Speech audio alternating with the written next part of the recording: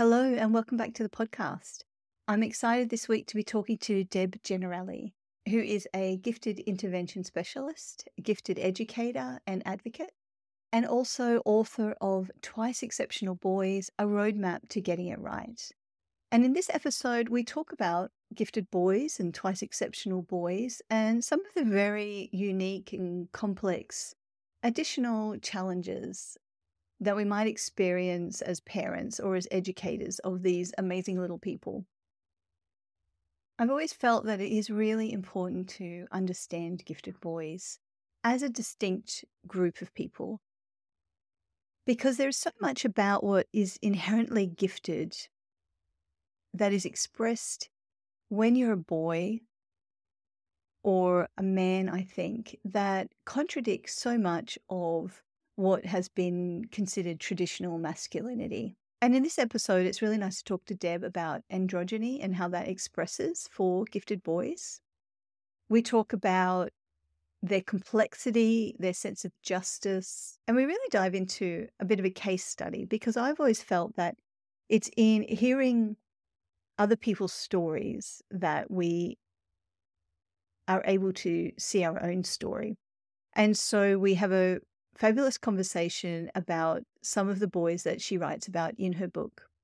We talk a lot in the gifted community about the special supports and accommodations that our gifted kids needed and our gifted adults as well.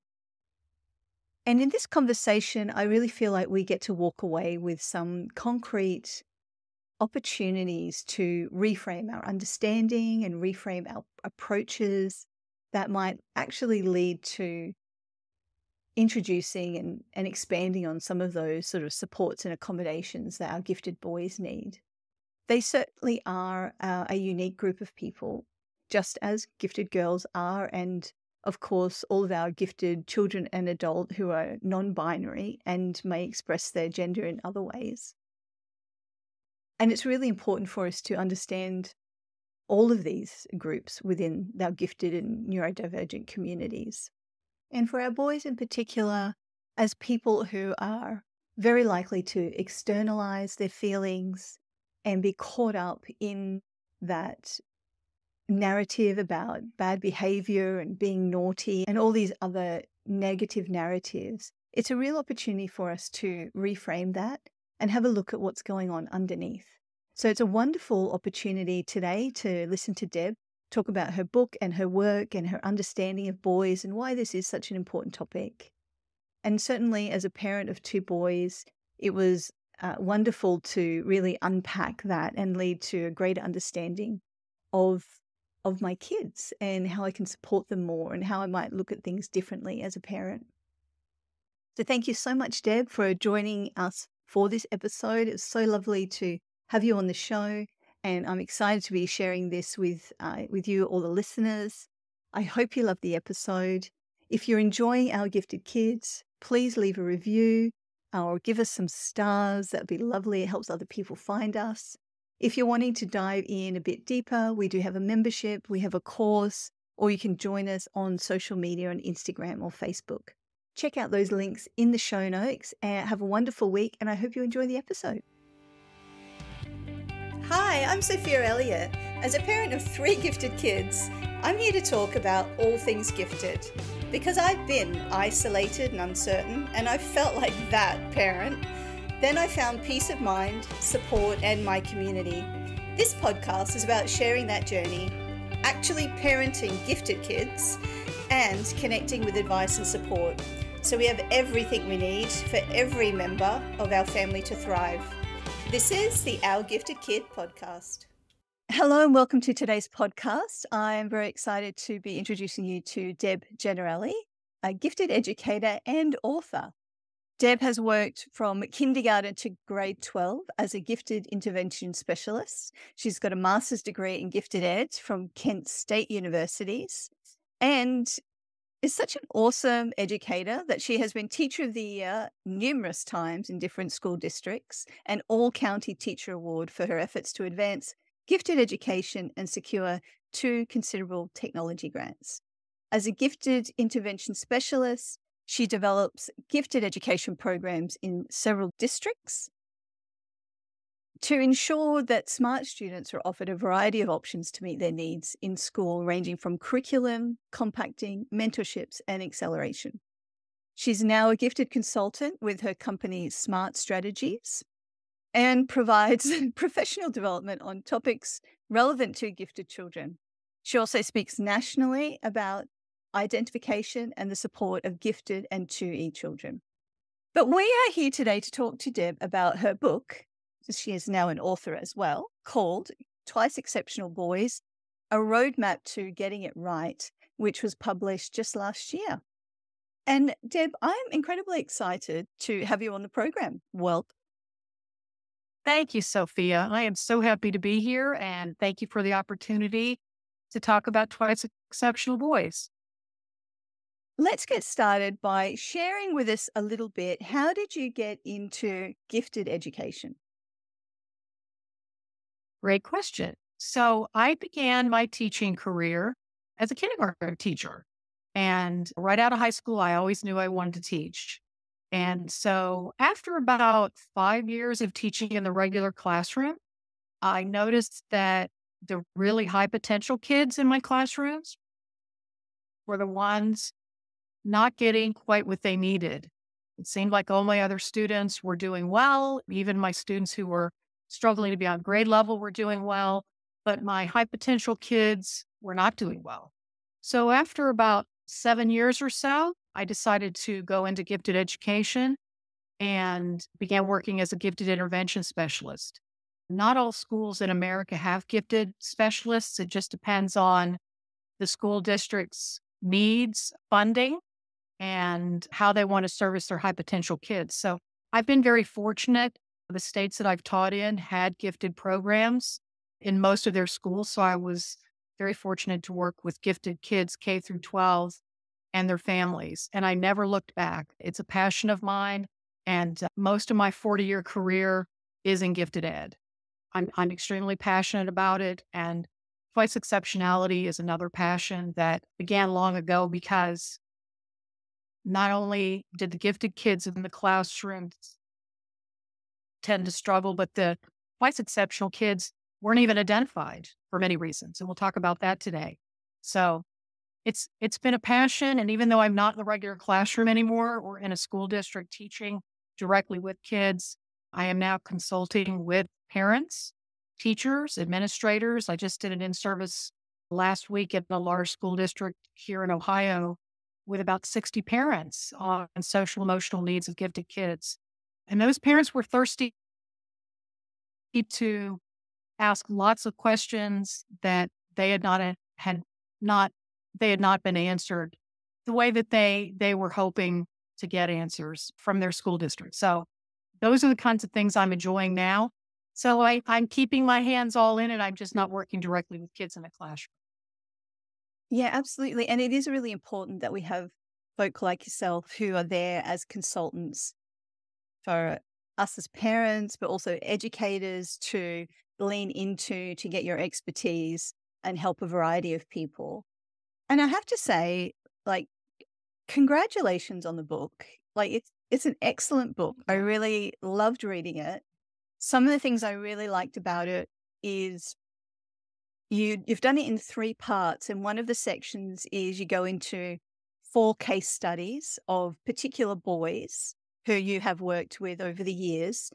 And it's really great to get that sense of detail and journey because you, you know, you unpack the child. There's reflections from parents about those early years. And then you talk about like kinder through to grade four and that the journey the child goes on and the ups and downs of that journey.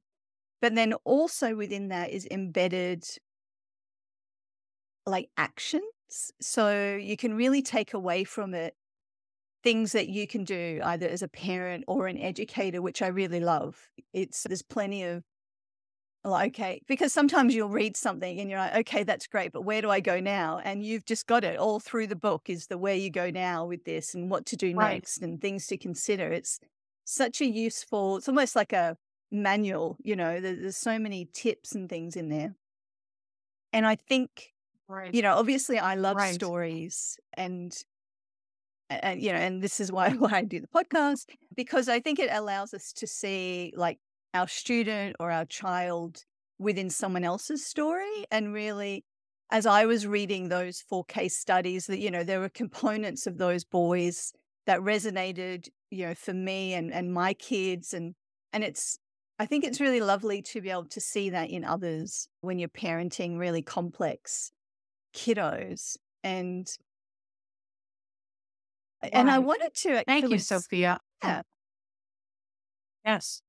Yeah, well, you know, like writing a book. Well, I, I would, so I would just say that. Thank you. I will just say with those four students of mine that I wrote about, and there are many more like them that I worked with, but I picked those four because I worked with them for many years. You know, they maybe were identified in first and second grade, and I followed them through sixth, seventh, and eighth grade. One of them I followed all the way through high school and I'm still in touch with today. I mean, he's he's an adult working in the world, but I would tell different parents, you know, hopeful stories about their 2E boys because at the time that they crossed my path, many of these families were struggling, challenged, hopeless. They didn't know where to go. They thought their schools were failing them. They thought their son was going to end up dropping out of school, all kinds of very sad stories. So one of my my big purposes for this book was to give hope to parents and teachers who work with gifted kids that there are ways to really help them go from just surviving in school and at home to really thriving at school and at home. And that's the big thing from, really just let's not struggle anymore. Let's start thriving and, and really being happy and successful in school and at home. So those four boys are still near and dear to my heart. Absolutely. And I love at the end of the book, you there's actually a reflection from one of the boys, now uh, I'm a young man who actually reflects back. Yes. And, and we may have a little look at that later. But I wanted to read yes. a little passage out of the book, if I may. Uh, now yes. I opened up I opened up the book and I'm looking at the first paragraph of the preface. So Many years ago in my teaching career, I met a very smart seven year old boy who lit up a room when he entered it. His enthusiasm for learning was contagious. He could never just sit still and wait for his dozens of questions to be answered. This smart boy was always went after the knowledge he sought with a passion. As the year progressed, I noticed that regular schoolwork became more frustrating and difficult for him. By the time this boy was 10 years old, the shining light in his eyes had glossed over and turned to anger. Like that that's the first paragraph of the whole book. And I just kind of went, I want to Oh man, this is gonna be good. I'm, I know. I'm like, right. I know. I like I read that and I was like, can I read this out loud without crying? Like it just to me, it sums up the entire challenge of parenting two e boys in that mm. one paragraph. So I was like, oh my God, that's so such a powerful statement. Love what you're learning from the Our Gifted Kids podcast? Why not become a supporter? The quickest way to do this is to leave a review. There's no need for an essay, five stars will do. You can also say thanks with a one off tip in the tip jar or become a regular supporter for as little as the price of a coffee per month. There are lots of different ways you can say thanks. Check out the link in the show notes or head to www.ourgiftedkids.com to find out how you can help. And so let's start with why 2E boys? Why did you write a book about 2E boys? Right. Well, Sophia, since I've been talking about this book, it's the number one question I get asked. You know, why did I write about boys as compared to girls? Or why just not twice exceptional gift, you know, kids, boys and girls? It was never my intent to really sit down and, and write about boys. However, when I, I met that young student you just read about many, many years ago, it impacted me a great deal. I would come home and worry about him and stress about him like he was my own child, my own son.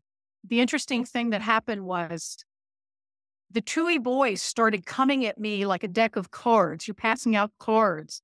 I worked with I worked with twice exceptional girls as well, but the boys were almost four to one that I you know, teachers, parents, administrators were coming to me with questions about these boys.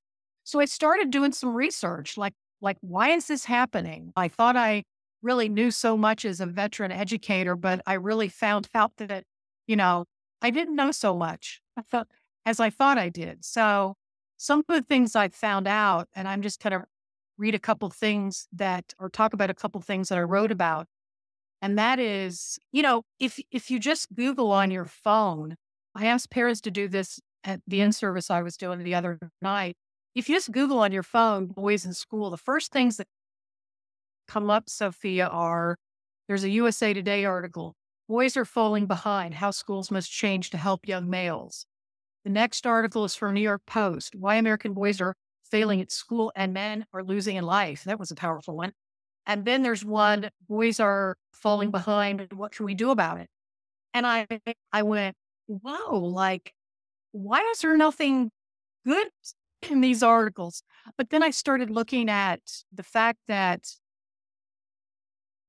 when when the attention for STEM kind of focused on girls, why girls, you know, the gender focus related to STEM education, science, technology, engineering, and math, it took a little bit of focus off boys in that they were experiencing some equally troubling issues, just like the girls were.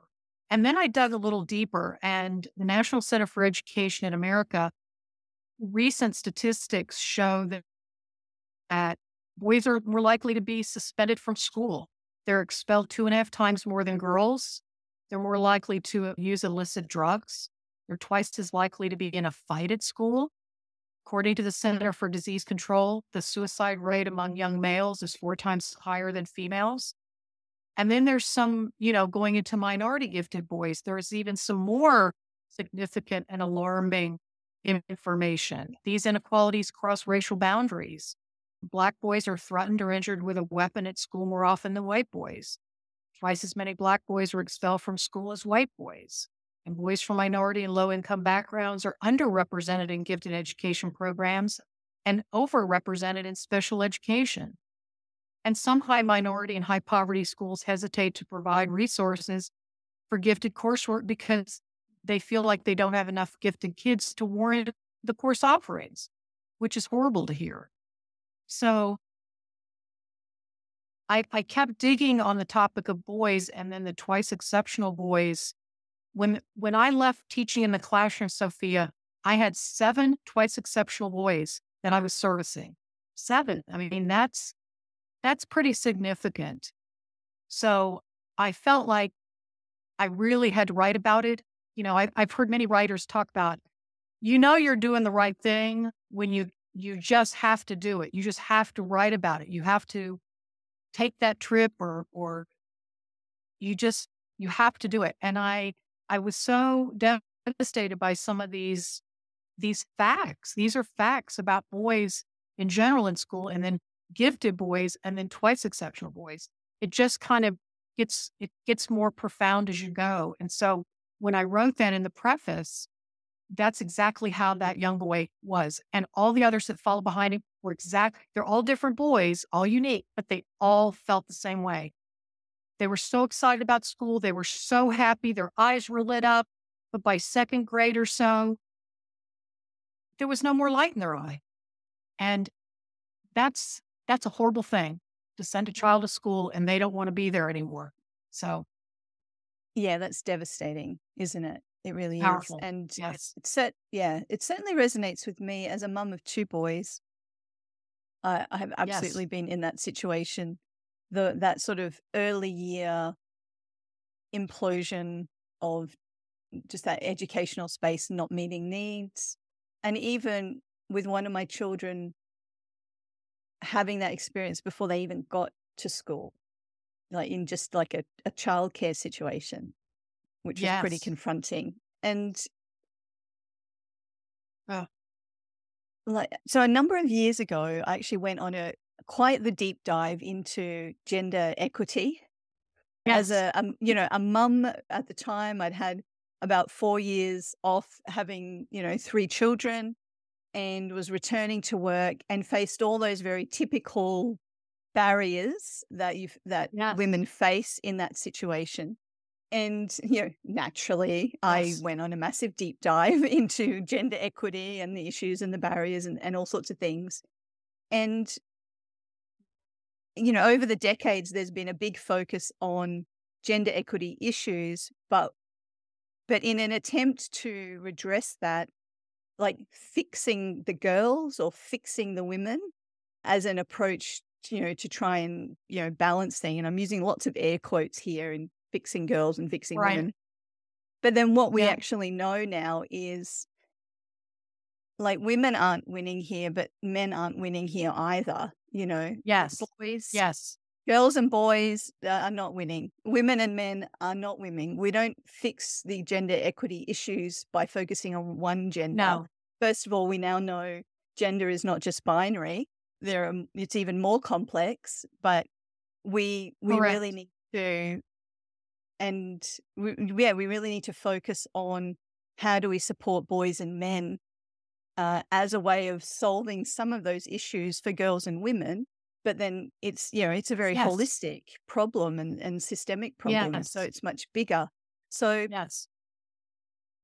so I think it's great that you've taken this time and felt compelled to, you know, dig down into this niche of twice exceptional boys within that kind of broader, you know, big picture, you know, challenges to a cohort of boys who are incredibly bright, but have a range of varying challenges, but also inevitably incredibly sensitive. And one of the, actually, one of the things in your book that I thought was really interesting, let me just find my notes, was you're actually talking about androgyny in gifted boys Yes. Yes. being that combination of traditionally masculine and feminine interests and behaviors and that psychological andron- androgyny. Tell us a little bit about Yes. that. That's one of those those topics, Sophia, that I didn't know a lot about. And when I started researching some information, I, I was it made so much sense to me as a gifted Yeah. specialist. Yeah. Um, it made so much sense. It's like that light bulb going off because I have boys who, you know, may like to play football or sports, but I have some that, that don't. Some that really enjoyed music, played instruments. But, you know, I had a couple boys who tried very hard not to show what I say a feminine side. And what I mean by that is some of their interests somewhat stereotype as feminine interests. For example, designing clothes. Although some of our best designers are men, right? Yeah. Cooking. And some Yeah. of our best chefs are men. So, but it's still a stereotype that, particularly when boys are growing up, they need to be more masculine. And I talked a little bit about, you know, boys should be boys and those types of things, particularly in American culture. I'm not sure about Australia, but in American culture, boys from a young age are really, you know, generally, you know, you you need to play athletics and you and by a certain age you definitely don't want to cry and uh, you you need to really just pull up yourself from your bootstraps and let's get on with this. And that sensitivity factor that we were talking about is pushed down. I had another student who, from like fifth grade, he was going to be an actor. And he talked to me at length about how much he enjoyed performing in the school plays. And he, his mother actually took him over the summer to some acting camps. I'll call them camps, but they were, we have a really great art center here, Performing Arts Center in Cleveland. And she would take him there in the summer and he would try out for different parts. So I knew that he loved acting, but his dad wasn't real happy about it. So he was already getting that that pull, that dynamic pull of I really love acting. My mom's supporting me, my dad's not. And why is that? You know, like why is my dad not supporting something that I'm so happy about doing and I'm actually good at it?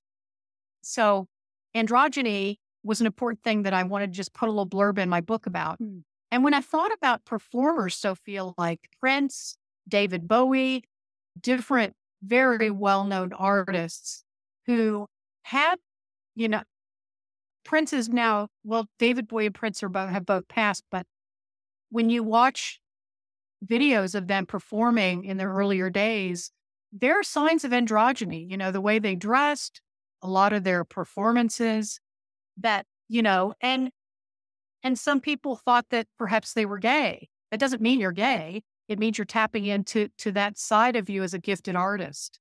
Uh, so I think that's real important for parents and teachers to understand when they come across those highly gifted boys, because boys do get more, you know, people talk to them more about that than than girls do. I mean, girls can experience the androgyny too, but the boys get it a lot more in our culture than the girls do when they start leaning towards, you know, performing arts and things like that, ballet, dance, and so forth. So it's it's a sensitive topic with some, but I think it's important to know about gifted boys that that could be something that that you observe. Yeah, absolutely. It's certainly something that I see a lot amongst, you know, all the gifted kids I I know. And I think you're right. For a girl to be interested in what might be considered traditionally masculine interests, you know, they can be a bit of a tomboy, and that's okay. You know, that's acceptable. But the reverse for a boy is, I think, still much harder. We still have a lot of that toxic masculinity and yes. And I love how you sort of differentiated between, you know, it's that even the difference between like an external androgyny, like you said, David Bowie, you, you know, certainly, you, you know, to look at them, you can see this sense of androgyny. But even the difference between that and just the psychological androgyny, which is like, like you say, may well be a heterosexual boy or young man, but just is interested in what culturally we've assigned as feminine interests, but really like we we need to pull back right. from these gendered labels, don't we? Because like you say, what's what's feminine yeah, about cooking when we have great chefs who can be women or men or great designers who can be women yes. or men and and why does you know why right. a boy who's interested in art, why does that have to be seen as a feminine interest? There are many great male artists as well as female artists. And it's pulling back from these traditional, you know, concepts of, of feminine and masculine. And I think exactly. Yeah. And I think within that intense sensitivity of gifted kids in general, but especially gifted boys, because it's not a traditionally masculine thing to be highly sensitive emotionally it's really something that I think parents and educators need to. I'm not quite sure what the word is, but see and just sort of support and know that that's who they are and that's okay. Yes. And it's like, how do we yes. support this child who is intensely sensitive and that's okay, regardless of their gender identity? Because it's such a big part of who yes. they are. One of my children yes their kindy teacher once described them as paper thin, you know, like their skin was like not thick skinned at yeah. all. He was paper yes. thin, just this incredibly sensitive and and it's something that we have to be mindful of like 24 7 because yes it affects his lived experience in so many ways and Absolutely. and if you if you don't work with that as a parent or an educator he he can really shut down and just really yeah. takes it very deeply so i love that you've yes. put androgyny in there just to kind of highlight that particularly for boys and right you know and it's and I and it's not something I've seen in any other book. Like you've you've done an absolutely smashing job here. So thank you so much. And great. So, Sophia, let, can I can I just add yeah. one, one thing? One of my favorite movies is Robin Williams' Dead Poet Society, and I yeah. I mentioned that in the book that that's a good example of it's an all boys school that Robin Williams is teaching at, and one of his students sees that he's really good good at performing, as I mentioned, one of my students was. And uh, his parents found out about it. And his dad said, You're here because your path is to be a doctor. And you quit those plays, no more acting. And the student ended up committing suicide. Powerful, powerful Mm. scene in the movie when the students find out that your friend has taken his life because his life has been planned for him. His his parents can't see that, you know, there's another way to his his talents. It was so I still get chills when I think about that, Mm. but that's that's where it could lead if if we're not more open minded to all children have interests, whether they're boys or girls, and we just need to be more open about, you know, helping them, supporting them, as you said, and they'll they'll find their path. Totally. Dead Poet Society was one of my favorite movies as a teen. And Yes. that storyline is is really great because and the sad thing about that is as as you know parents grown-ups just individuals ourselves these things don't have to be like either or they can be both you know like that young man could have performed in theater and studied to be a doctor and filled up all of those you know interests and pursuits and it's you know and a young boy may well love writing poetry and playing football. Like we don't have to put people in these buckets and put Yes. limitations and i think as part of being a well-rounded and grounded person Yeah. it's having lots of different experiences. I know one of our we we tend to set you know as parents we'll have a bit of a goal each year for each of our kids you know in terms of their perhaps strengths and areas where they need support. And one of mm. our goals this year is quite simply to help one of our kids find a or experiment in a number of creative outlets to try and help in that journey of finding a creative outlet that will help them express emotions because you know Oh, great.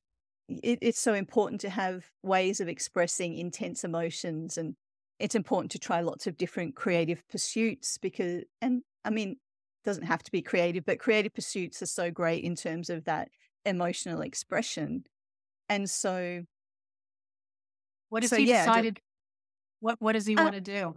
well he's he's actually found a bit of a niche in creating digital music Oh, and! That's great. yeah yeah and so he's exploring that at the moment and it, like is apparently really good at it which is obviously a bonus but the Yeah. the, the thing for us as parents is that it's he's motivated to do it it's creative and it just you never know where it leads and it's just kind of it's right. interesting right now and it might move on to something else but it's providing a creative outlet Right.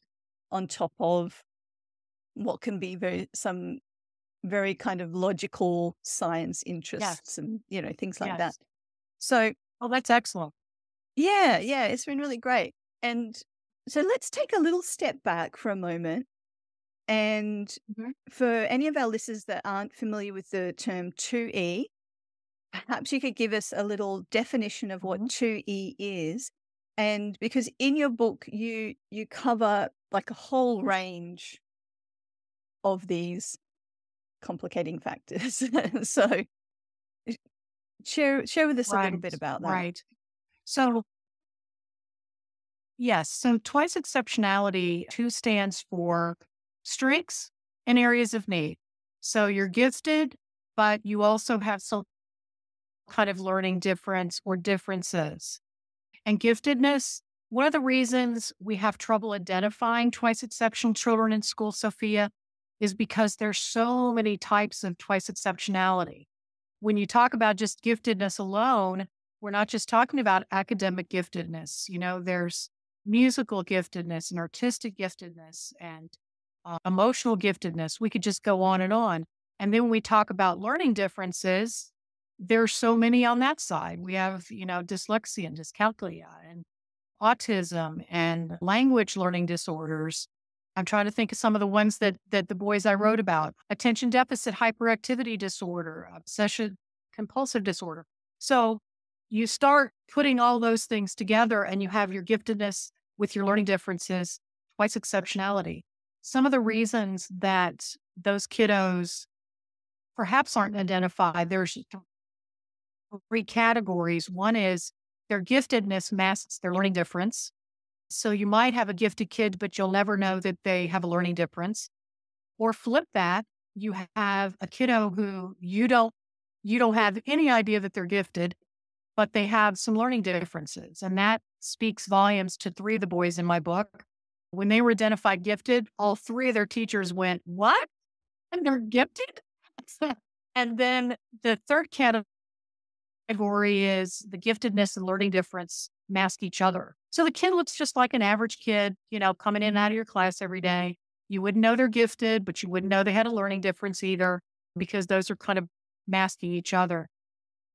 So one of the things that, you know, I worked with teachers at great length about was trying to find these kiddos in their classrooms. And there are signs. You just have to be really well trained to find them.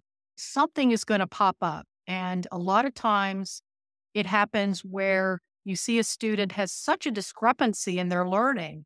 You'll notice that, you know, like for example, one of the boys, actually the one in the preface, he his verbal ability off the charts off the charts. When you sat and talked with him as a seven year old, you thought you were talking with a 15 year old. And, but in second grade, he could not read or write. So by second grade, his teacher was like, something's not right here. Something, you know, what is going on here? This boy is extremely smart, high potential, eager to learn, talks about so many different things on such a high level, asks questions that are that are, you know, really like a junior high student would ask, but he can't hold a pencil and write a sentence. And he can't pick up a book on a second grade level and read. So now that's a big extreme. But those discrepancies in in, you know, that teachers and parents observe are flags that you probably have a twice exceptional kid here. And more assessing needs to be done to really identify those kids so we can get a plan for them, which is really what my book's about as well, is getting that roadmap planned for them so they can have a more smooth journey throughout school. So yeah, there's there's so many kinds of twice exceptional kids, Sophia, and they're really hard to find. And absolutely absolutely and it's the complexity isn't it like eh, the incredibly yes. complex kids and yes unpacking all that can take years of, of figuring out. So perhaps you would like to tell us another little story about one of the students that you've worked with and yes and, and what me, their journey uh, was like yes let me continue telling you about the, the student that was mentioned in the preface so he he after second grade we the school district that i taught in at the time sophia tested all second graders as a whole group for giftedness with an ability test. And his teacher and I, we suspected that he was gifted, but we also really knew in our heart he probably was not going to identify based on this whole group test. And he did not. So went on to third grade. And at the beginning of third grade, I really flagged him for individual identification get our school psych to, to test him. But before that happened, he was at recess one day and he had a verbal altercation with mm-hmm. another third grader. And both boys were hauled into the principal's office. And the principal began asking each one of them their side of the story. And my student began speaking like a junior high kiddo and telling his principal his side of the story. And after she let them go, she sought me out and said, Is he in the gifting program? And I said, No, he's not actually. She goes, You would not believe what he just told me in, in my office about what went on at recess. I thought I was in a court case. I thought I was in a, like a, you know, he was a lawyer presenting his point of view. So we had him individually tested. And sure enough, he identified gifted. He was also receiving services for reading and his language disorder, learning language disorder that he was formally diagnosed with. By fourth grade, he was so done with school that he did, he acted it out more than any kid in fourth grade. And I advocated for him. There were times where I thought he was going to get suspended, but it was solely based on the fact that his regular classroom needs were not being met. Unfortunately, I, wa- I, I wanted to take him with me all the time, but that wasn't going to happen. I couldn't keep him in gifted ed all day. So by the end of fourth grade, his parents said he needs to skip a grade. And I said, I agree with you. And he's twice exceptional. And so some of the administrators were like, wait a minute, skip a grade. And he's, you know, still kind of struggling with writing and reading. And so we went through the acceleration process. And lo and behold, he was a great candidate for it based on the criteria that that the state sets up for districts to follow to see if a student is a good candidate. And he skipped fifth grade, Sophia, went on to sixth grade. And right before he went to sixth grade, at the end of fourth grade, he started talking to me about he wanted to be an attorney, which go figure, he's in the principal's office, you know, debating what he wasn't the problem at recess. I found an attorney, a local attorney who would come in and mentor him. And I pulled him out of some of his strength areas, which is I, another option I highly recommend for teachers. If you have a highly gifted student, a very smart kiddo in your room, and there are some strengths that they don't need to they don't need to sit through this, this, and this because they've already mastered it, then let's find a challenge for them. Let's find something that they can do that really fills that that need for them. So this this father of some kids in the district said he'd come in and sit with my student and they sat and talked like two law buddies from law school. And it was it was the most astounding thing to watch, you know, a nine year old talk to this gentleman about being an attorney and kinds of questions he asked him. And, and it really saved him. It, it saved the student from going down a really dark, dark hole in fourth grade. So when he skipped fifth grade and went on to sixth grade, his his trajectory started going up, Sophia, because now he's had a mentor, he's had gifted services, he is now accelerated, he's moving on, and by high school, he found mock trial and other extracurricular activities that filled that void where he's a great leader. He wanted to find things where he could speak and be a leader. And lo and behold, he ended up getting, which I could not be more proud. He went to an Ivy League school and got his law degree. Now he's practicing law in Washington, D.C. So that is that surviving and thriving. And it was all the different educational options we put, strategies we put in his place on his roadmap to help him see that school was really a good place for him. Mm-hmm. I love that you so, brought brought the mentor in to help oh, yes. give him context around why he needed to get through school, well, you know, necessary evil yeah. sort of thing. And and at the I think it's the very last page of the book, mm-hmm. that student actually writes some comments. So I'll see if I can read these yes. without crying. Hang on, take a deep breath. yes. Uh, he says, if I were to give advice to another gifted student like me, first I would say take it day by day and do not focus so much on being an adult right now. Although you may be very mature, there is still joy to be found hanging out with people your own age. Next, I would recommend that students should diversify their interests, play a sport, or join a club that is not just science or math oriented. Third, I would advise you to pick your battles wisely. Although you may be correct in principle yes. about a matter, it's not worth getting into a heated debate about it. Fourth, I would tell students like me to be crazy ambitious. You have so much potential. Don't, don't relegate yourself to mediocrity. Don't ever settle. Also, don't let your parents, teachers, or counselors think you're dreaming too big. Finally, oh, taking a deep breath. Finally, focus on being happy. Don't be cocky about how smart you are because no one likes that kind of person and you won't make friends that way. Getting the best grades and highest test scores won't make you happy. You need more than that in your life. You need fulfilling hobbies and good friends. Have some fun.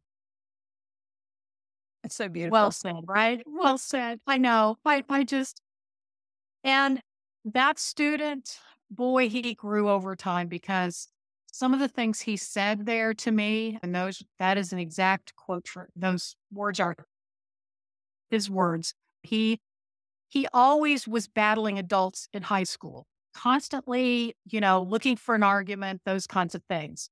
Thought he had to have the best grades to be valedictorian.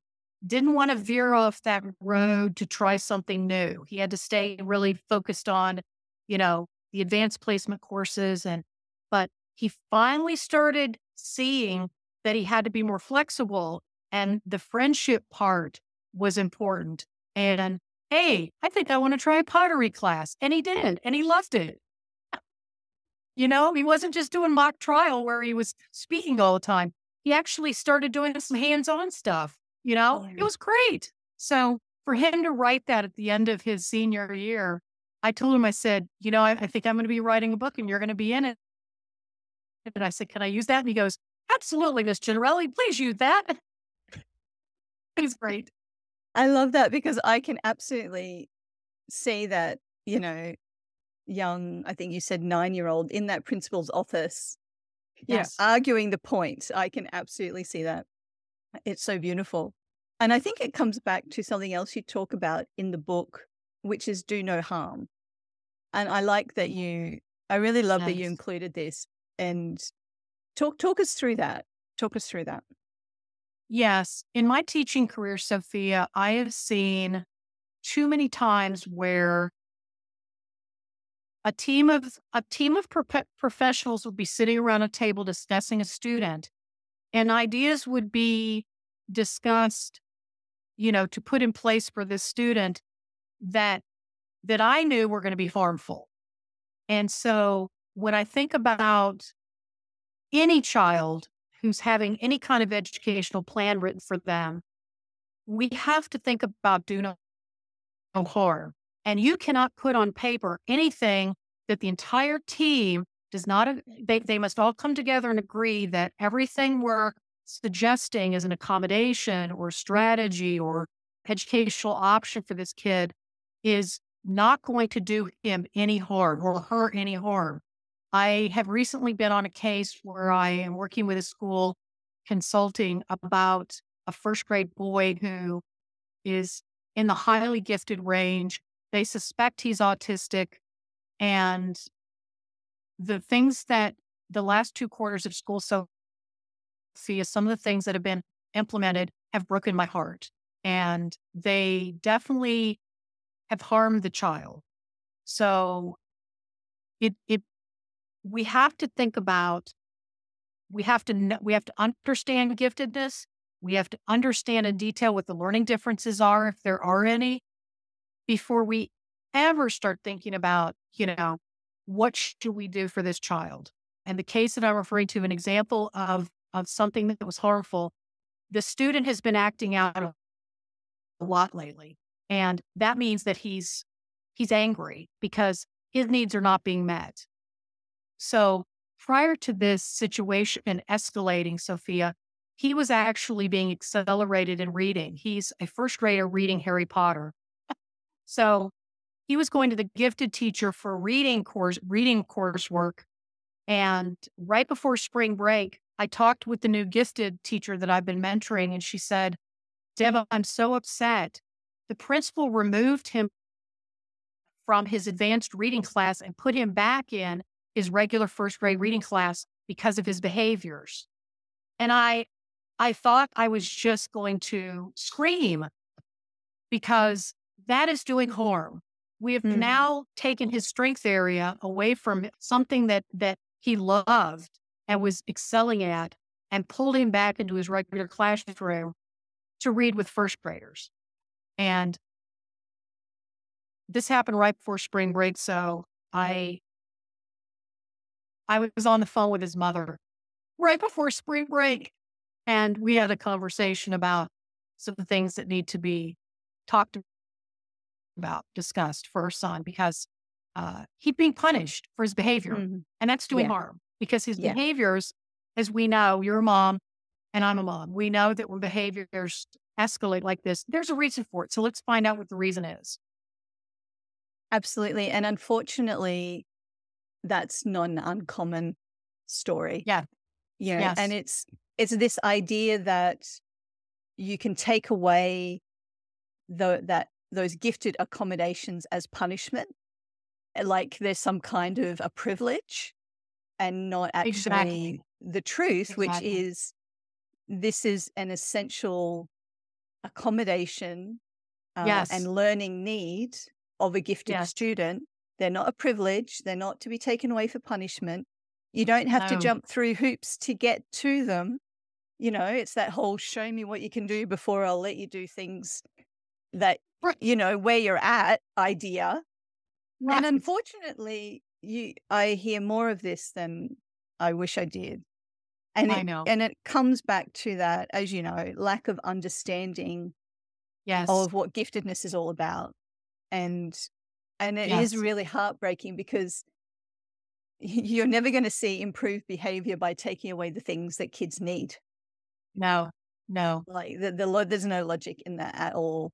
No. And if and if that child was already accelerated in reading and the behavior was still an issue, then obviously, like you say, there was more needed. You know, what else can we do? Try other things, but not take away stuff like that. That's it is heartbreaking Exactly. because, like you say, it does do damage. And Yes. the sad truth is a lot of twice exceptional students, boys and girls, Yes. you know, can experience trauma from their educational experience and and move from school to school and just become broken. And I've Yes. seen that a lot as well. And that's just Yes. absolutely heartbreaking. And It that's why. Yeah, yeah. And that's why it's so important that you've written this book and we've got this Mm-hmm. spotlight on this, you know, niche within a niche. Uh, and there was another great podcast I did a little while ago that I often refer back to with Dr. Geraldine Townend, and she was doing research on the self sense of self of twice exceptional students.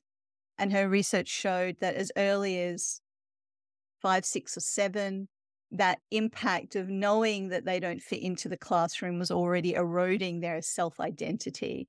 And so I think it just, like you say, highlights even further that we have to do no harm uh, Right. Right. fundamentally. So thank you so much for mapping that out for us and including that in the book. Absolutely. So, as Right. I said, there are heaps of suggestions and tips and Uh, you know and direction and actions th- throughout the whole book. And I'd like to just kind of close off, mm-hmm. perhaps by sharing some suggestions for su- supporting our 2E boys in different areas. And so, in the book, you covered some areas like emotional intensity, hands-on learning, curiosity, questioning, and coping perhaps there's Right. some some Yes. suggestions you could could take out of those for us. Absolutely. So, and again, you know, as I as I talk about these in the book, Sophia, it's it's they apply to boys and girls, but Mm. I particularly noticed with the boys that I worked with the emotional intensity. Uh, so these students think and feel deeply and awfully and often differently than other children. This is especially true for 2E boys who are wrestling with the fact that they're gifted, but they also feel inadequate or shame or other negative emotions. And I saw that with all the boys that I wrote about. They knew they were really smart, but then they started questioning, am I really smart? Or, you know, I'm really good at this subject, but I'm really horrible at this subject. You know, like Jake, who couldn't read write second grade, but knew he could speak to any adult in the room and keep a conversation going. you know, it was that that really out of sync thing going on there.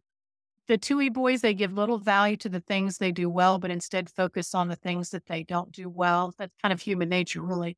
Teachers Mhm. and parents may criticize them for not trying hard enough. Three of the boys that I that I wrote about talked about that a lot. Either their teachers, parents, or both said to them all the time, You're not trying hard enough. You're not trying hard enough.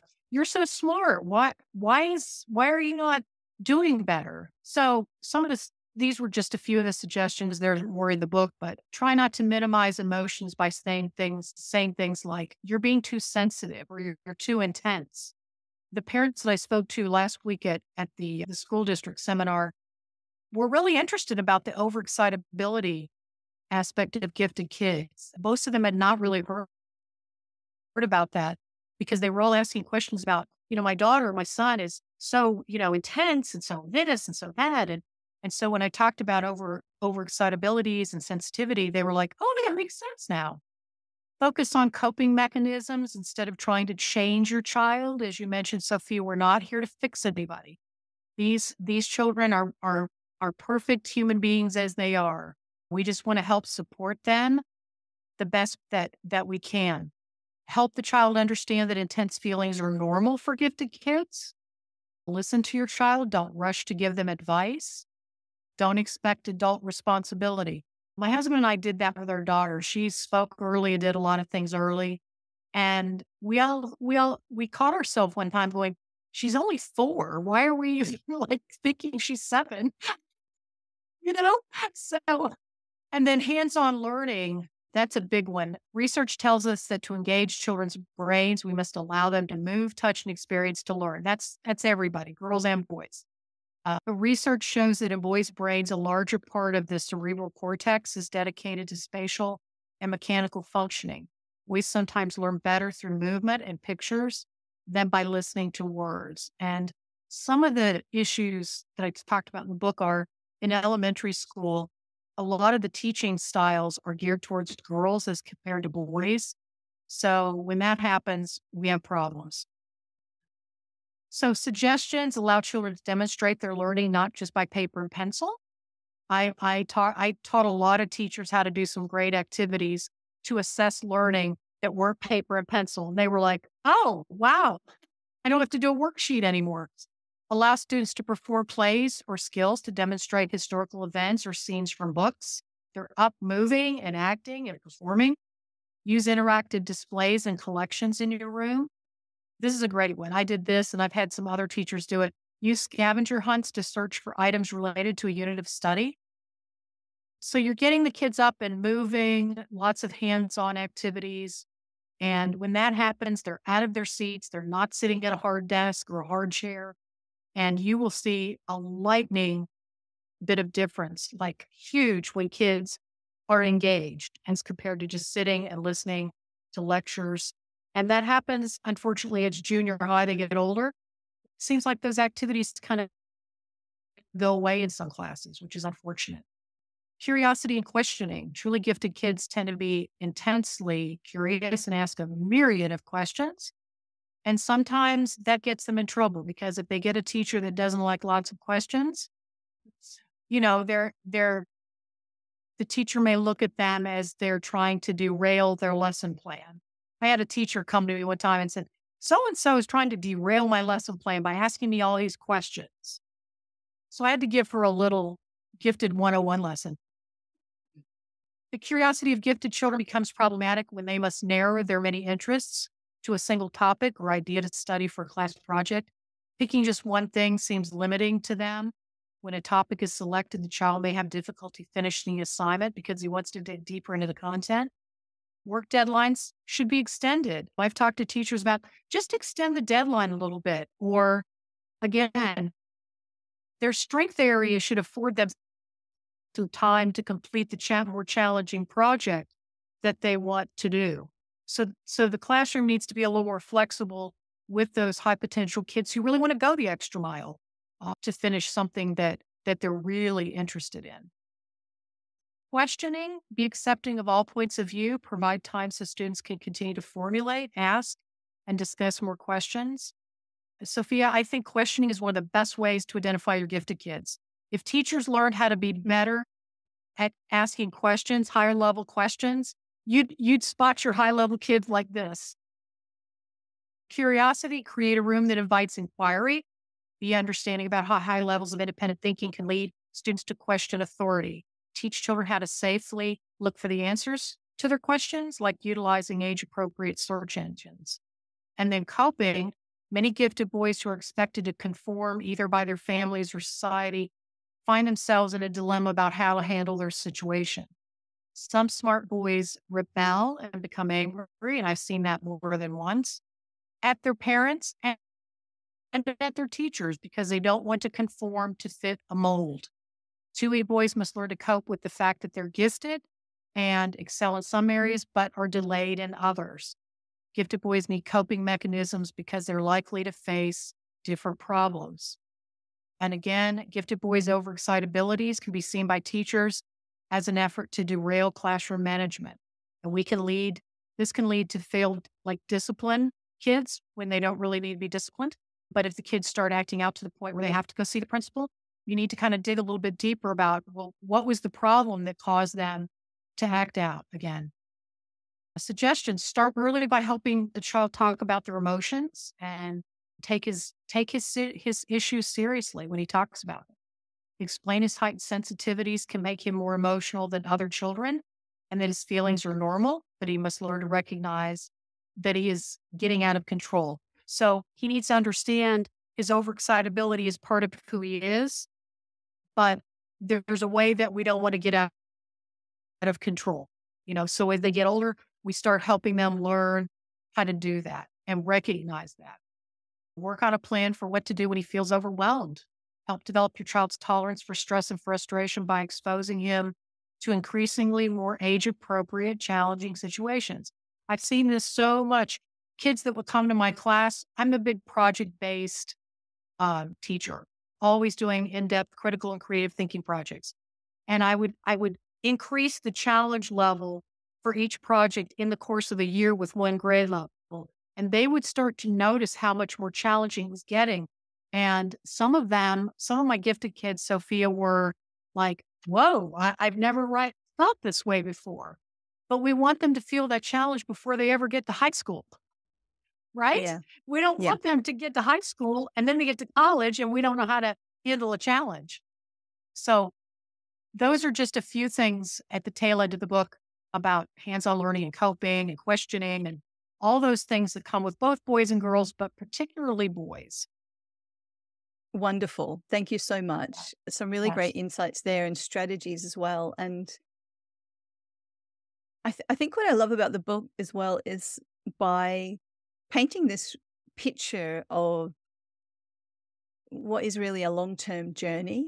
You know, as parents and as adults, even, you know, we can be faced with a problem and so, okay, got to fix this problem now, like tomorrow, today, fix it.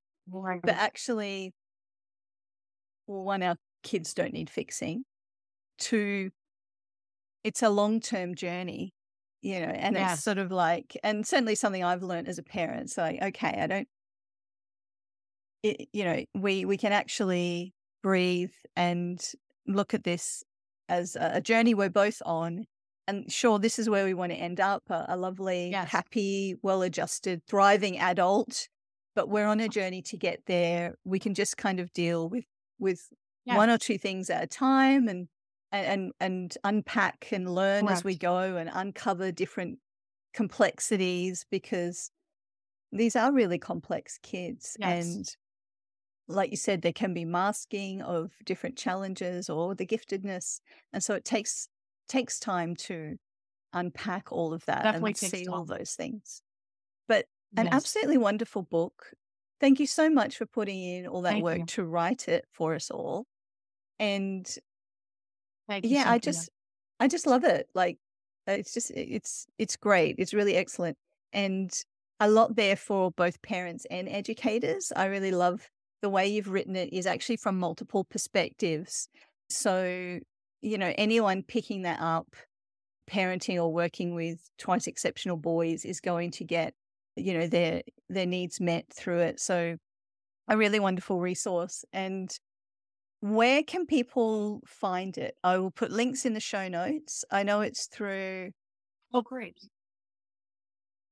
It was published by it was published by Gifted Unlimited.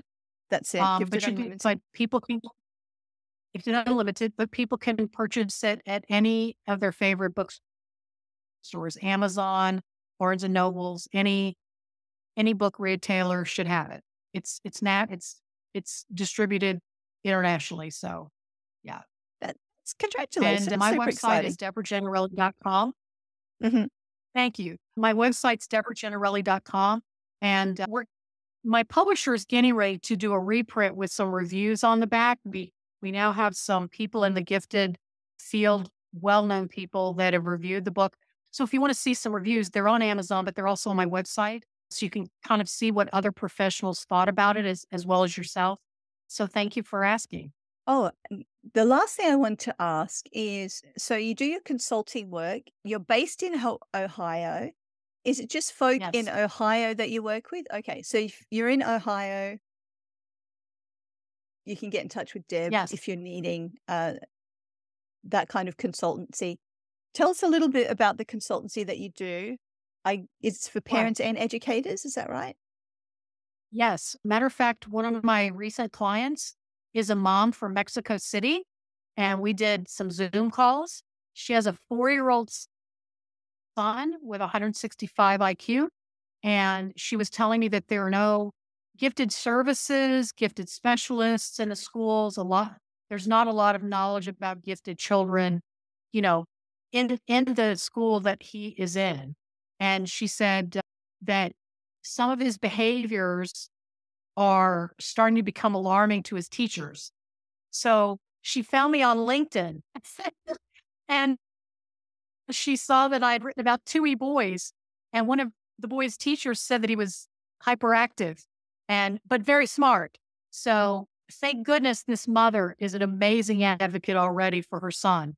She is researching and looking and trying to find what is the best thing for her son, right? Do no harm because she felt like he was getting ready to go down the road of mm, these people, these professionals he was with didn't understand him and they were getting ready to put things in place that were going to harm him. And some of those were punishing his behaviors. And I, I, I spoke with her three different times. So she found me on LinkedIn and she's from Mexico. And I, I am so thrilled. And I, I think I helped guide her she was going to have a big meeting with school psychologists and some teachers, administrators, and I teed her up well. So she knew exactly the questions to ask mm-hmm. and the That's answers excellent. to look for. Uh, That's but, brilliant. Yes. Yeah. Yeah. And I, like I said, I work with school districts on all topics, not just twice exceptionality, but as I said, I did the social emotional needs of gifted kids. And it was a parent night that this district had. So I'm all over the place. I'm getting ready to do a uh, social emotional needs of the gifted. SENG.org is an organization that most gifted families are familiar with. And they have a, a look, their, their national, international conferences in Philadelphia this summer. So I'll be speaking at that on Twice Exceptional Boys. And I hope to speak at the National Association of Gifted Kids in Orlando in November. Consulting, speaking, writing. I'm writing a second. I if I told you about that. It's I'm co-writing with a 2E adult. The the connection just dropped out there where you were telling us about your second book. Just tell us about that oh. project that you're on again. Yeah. 2E adult. And he is highly gifted, has had a very interesting life to say the least. Very successful life, but but a lot he was diagnosed in he started learning about twice exceptionality. Again, he found me on LinkedIn and now we're writing a book together. well, that sounds super exciting. I would love to have you both back when you're ready to talk about that book because that sounds amazing. And it, it, it dropped in, in and out a little bit there, but my understanding is the person you're writing with is a twice exceptional adult who's been diagnosed later in life and so you're working on a project with him to tell that story of of, of what has been quite an yes. interesting you know lifetime for him and and share that with the world which is really great to see you know these different experiences so, so i can't wait to read so that we'll, one as well. Right we'll we'll come back and visit with you the both of us. I would love that. great. i would absolutely love that. And thank you so much for your time today. Hugely appreciate it. Uh, such a, a great episode for parents and educators who are listening and what wonderful resource in your book congrats.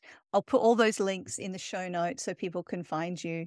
And it's good to know that it's not just folk in ohio. If you're outside of ohio mm. you can do some zoom conversations as well which is really great because sometimes as parents we need people yes. like you to help us through that process and with that, you know, educational knowledge of what to ask, when to ask for it. And so it's great that you're doing that work.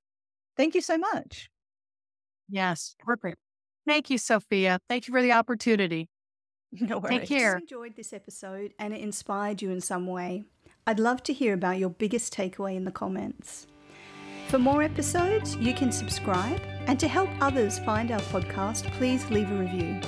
You can find show notes and more resources at ourgiftedkids.com and connect with us on Facebook and Instagram. See you in the same place next week.